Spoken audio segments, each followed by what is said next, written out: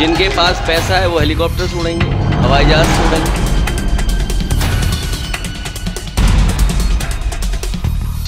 Hitler के जमाने में केवल एक मंत्री हुआ करता था प्रोपोगंडा मिनिस्टर लेकिन ये सरकार में पूरे के पूरे लोग ऊपर से पीछे बैठे लोग।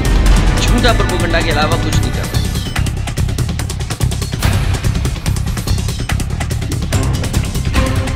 और ये भारतीय जनता पार्टी के लिए उल्टी गिनती की शुरुआत है। जिनके पास पैसा है, वो हेलीकॉप्टर से उड़ेंगे, हवाई जहाज़ से उड़ेंगे। कम से कम इन चुनाव में हमें अपनी लोकल लीडरशिप को भी, उनका नेतृत्व देखने का मौका मिलता है। और सोचिए, बिना प्रचार के या संगठन ने जो ताकत दिखाई है, आप देखिए कि समाजवादी पार्टी की परफॉर्मेंस पहले से बेहतर है। उनकी कहीं ना कहीं ये ज़िम्मेदारी बनती है कि जो संविधान में और जो नियम हैं, जो कानून है, उसके तहत तो चलें। लेकिन इधर भारतीय जनता पार्टी ने अधिकारियों को भी अपना पार्टी का सदस्य बना दिया है। जो भारतीय जनता पार्टी कहेगी, वही कानून है। अभी मैं बेवर के लोगों से मिलकर आया। जो पार्टी का जीत गया सदस्य, चेयरमैन जो बन गया, उसे बैठाया और सर्टिफिकेट दूसरे को दे दिया। मैनपुरी में कल मैं खुद ग्यारह बज के चालीस मिनट पर, उससे पहले मैंने जिलाधिकारी महोदय से कई बार बात की। बोले, न्याय होगा, बिल्कुल नियम से काउंटिंग होगी।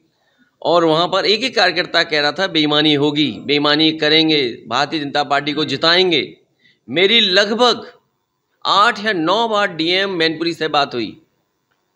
जब मुझे लगा कि ये जिला अधिकारी कुछ नहीं कर सकते मैंने जानबूझ करके कोशिश की, कमिश्नर से बात करूँ। पहली बार किसी कमिश्नर से मैंने बात की। मैंने कमिश्नर से कहा कि मैनपुरी में बेमानी हो रही है। कमिश्नर ने कहा, मैं दिखवाता हूँ, ग्यारह चालीस की बात है। उसके बाद वहाँ के पुलिस के बड़े अधिकारी से बात हुई। बड़े अधिकारी कह रहा है कि मुझे डर है इस बात का कि पत्थरबाजी रात में ना हो। कहीं जनता भड़क ना जाए। तो मैंने उनसे कहा कि समाजवादियों का ये चरित्र नहीं रहा है। और फिर प्रशासन ने पुलिस लगा दी, मैं समझ गया उसी समय कि रिज़ल्ट क्या होने वाला है। सोचो इस सरकार में आईजी, कमिश्नर, डीएम और सीडीओ बेईमानी कर रहा हो। कितने वोट से हरा दिया? 200 से कम वोट से हरा दिया। जो लोधी समाज का नेता चार हज़ार से ज़्यादा जीत रहा था। रात तक काउंटिंग चलाई। और कितने से हराया 200 से कम वोट से। बेवर में जिसको जीत मिल गई थी, कहा कि बैठो, अभी सर्टिफिकेट मिलेगा। सर्टिफिकेट उसे नहीं दिया। जो हारा हुआ तो उसे सर्टिफिकेट दे दिया बीजेपी ने। ये एटा के लोग बैठे चेयरमैन चुनाव लड़ रहे थे। कौन से मोहल्ले में नहीं वोट डालने दिया? क्या यही जिलाधिकारी का काम है? क्या यही अधिकारियों को सिखाया जा रहा है ट्रेनिंग में? कि आप वोट न डालने दो वोट डालने आए तो पुलिस लगा दो। रामपुर की वो नंगी तस्वीरें आपने नहीं देखी क्या पुलिस में, जहाँ वोट नहीं डालने दिया? तो भारतीय जनता पार्टी ने लोकतंत्र की हत्या कर दी है। अब लोकतंत्र नहीं बचा, आज़ादी नहीं है। पाबंदियाँ और केवल झूठ बोलना, प्रोपोगंडा पे चल रहे हैं। हिटलर के ज़माने में केवल एक मंत्री हुआ करता था प्रोपोगंडा मिनिस्टर। लेकिन ये सरकार में पूरे के पूरे लोग ऊपर से नीचे बैठे लोग झूठा प्रपोगंडा के अलावा कुछ नहीं कर रहे इसलिए ये चुनाव लूट चुनाव था।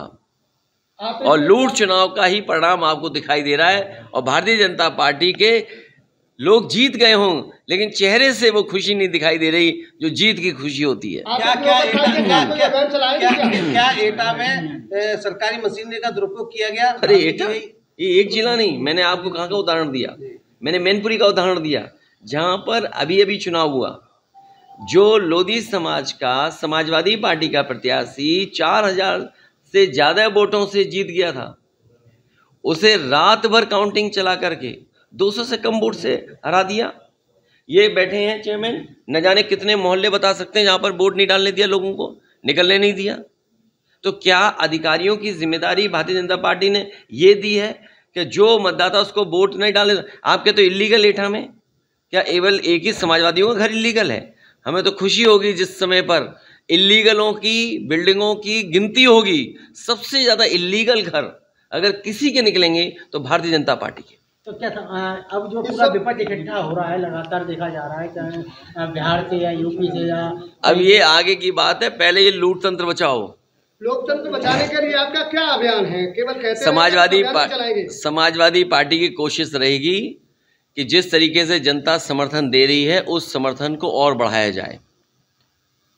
तो ये बीजेपी को 2000 का प्री मैच मान के चल रही थी तो अब 2024 का आपकी क्या रणनीति समाजवादी पार्टी क्या रणनीति आप तो पढ़े लिखे बुद्धिजीवी हैं। मैं क्या कहूँ बीजेपी क्या कहे? कम से कम आपको सच बताना चाहिए कि बीजेपी किस रास्ते पर है।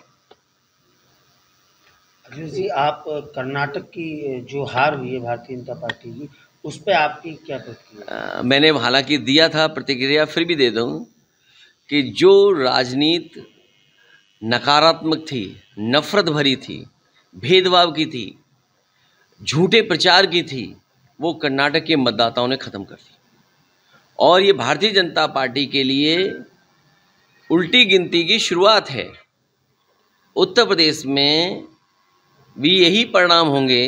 पिछली बार भी मशीनरी का जिस तरीके से दुरुपयोग हुआ, जिस तरीके से पैसा का दुरुपयोग हुआ, समाजवादी लोग अगर रोक ले जाते तो आज परिणाम उत्तर प्रदेश के दूसरे होते।